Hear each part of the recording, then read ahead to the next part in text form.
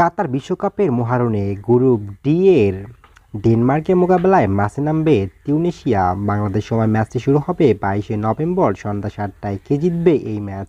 তো বন্ধুরা, চলুন দেখে আসি ডেনমার্ক ভার্সেস তিউনিশিয়ার মধ্যকার ম্যাচ প্রেডিকশন। তার আগে চলুন দেখে আসি এরা কেমন অবস্থানে রয়েছে এই দুই দল।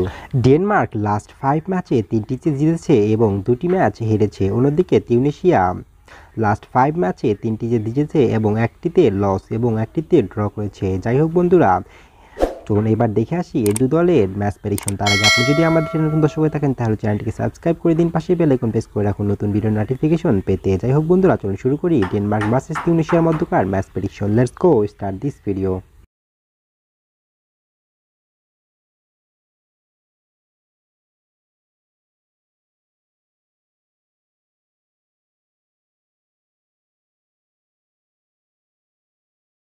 বন্ধুরা, ডেনমার্ক বাসেস তিউনিশিয়ার মধ্যকার ম্যাচে শেষ পর্যন্ত ম্যাচ প্রেডিকশন থাকছে ডেনমার্কেই। তো বন্ধুরা, তাহলে কি জিতে যাবে ডেনমার্ক? তাহলে কি হেরে যাবে?